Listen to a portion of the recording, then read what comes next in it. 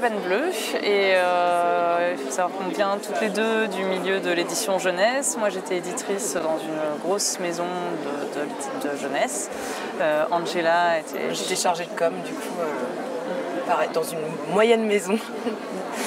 Et euh, on s'est retrouvé un jour à se dire euh, bah, ce qu'on fait comme travail ne correspond pas forcément aux valeurs écologiques qu'on a nous, qu'on porte à titre personnel. Qu'est-ce qu'on pourrait faire pour porter ces valeurs aussi dans notre travail? Et du coup, bah, c'est assez naturellement que l'idée est venue euh, de fonder une maison d'édition autour de l'écologie. Donc on propose euh, des albums euh, documentaires essentiellement, un peu de fiction pour sensibiliser, sensibiliser pardon, les enfants à la protection de la planète, à l'écologie. Et euh, on a également forcément une volonté d'avoir, d'agir pour le développement durable, donc de concevoir nos albums dans le respect de l'environnement et des habitants, des, des, êtres humains. Donc on fait fabriquer nos albums en France il n'y a pas de pelliculage plastique sur la couverture. On essaye d'être le plus éthique possible euh, dans la conception, la commercialisation, euh, d'agir un peu d'un bout à l'autre euh, de la chaîne à la, mesure, à la hauteur de nos moyens. Voilà, et de réfléchir à comment on peut faire du livre autrement aussi. Voilà, c'est un projet, effectivement, on parle d'écologie et on fabrique écologique. On allie le fond, la forme et l'éthique également. Donc ça passe aussi par l'humain, euh, que les artistes soient bien mis en avant, euh, qu'on euh, travaille en proximité avec les libraires, voilà, qu'il y a un vrai travail collectif également. ça passe également par des valeurs humaines. Donc on a une première collection qui s'appelle Suis du doigt, où on a deux titres, l'abeille et l'ours polaire. Et le principe de cette collection, c'est destiné à des enfants à partir de 3 ans, à qui on propose de suivre un chemin du doigt. Et en fait, à chaque page, ils peuvent choisir le chemin qu'ils empruntent. Et selon le chemin qu'ils empruntent, il ne va pas se passer la même chose. Donc par exemple, en bas, ils vont suivre les abeilles qui partent butiner les fleurs, alors qu'en haut, ils suivent le faux bourdon et ils vont découvrir la reproduction euh, des abeilles.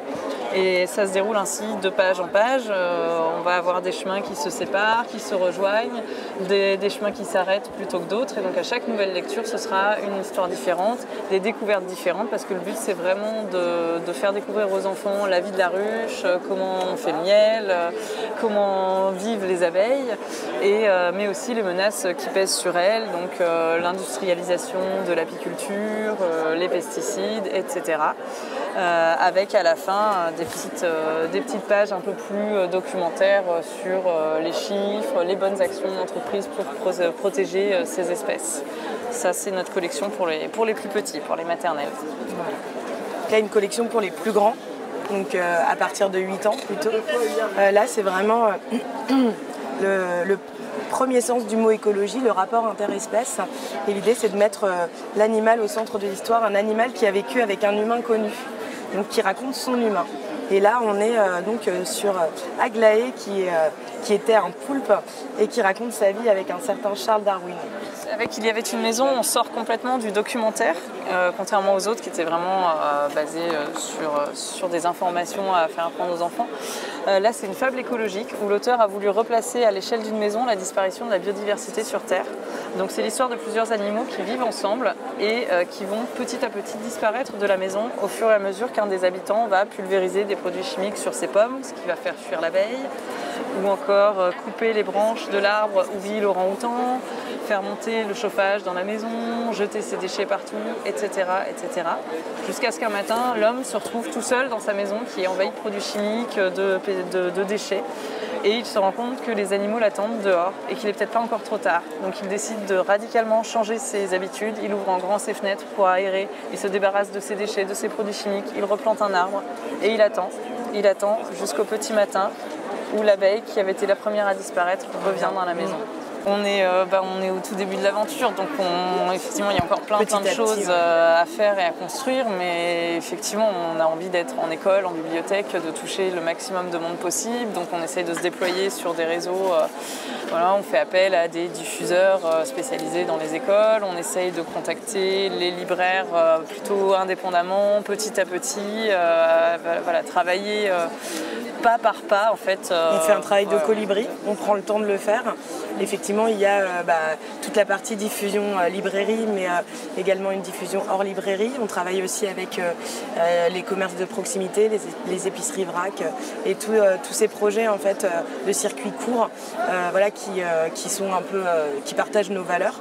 Et euh, bien évidemment, bah, sur euh, les écoles, c'est aussi euh, bah, faire intervenir les auteurs qui peuvent parler de ces sujets-là.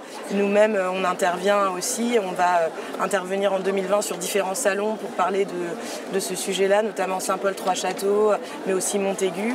Donc on a, aussi voilà, plein d'ouvertures. Plein et dans les écoles, bah, moi je vais intervenir prochainement aussi à l'école de, à côté de chez moi. Donc euh, voilà, on essaye effectivement de, porter un petit peu ces valeurs-là euh, au-delà de la diffusion en librairie et, en salon. Qu'est-ce qu'on fait de, lent bah, Du livre du coup, du livre de manière plus lente, plus respectueuse de la, nature et surtout euh, dans le temps de la nature, parce que euh, la nature elle pousse, voilà, ça pousse, une fleur elle pousse, euh, elle a un temps, là on prend le, même temps. Et l'éloge de la lenteur, c'est aussi de se dire, et c'est intéressant d'être à Montreuil pour ça, de se dire que bah voilà, faut essayer justement de ne pas courir tout le temps, d'être dans la surproduction du livre. Et nous, c'est pour ça qu'on monte la cabane bleue, c'est de prendre le temps de faire des livres qui, qui ont du sens, qui ont du sens dans leur contenu, qui ont du sens euh, au niveau des valeurs euh, humaines aussi, euh, du partage, du travail collectif. Et, voilà, donc c'est le rapport, le rapport humain, prendre soin de la terre, prendre soin de l'humain. Bah, on le fait aussi avec les livres.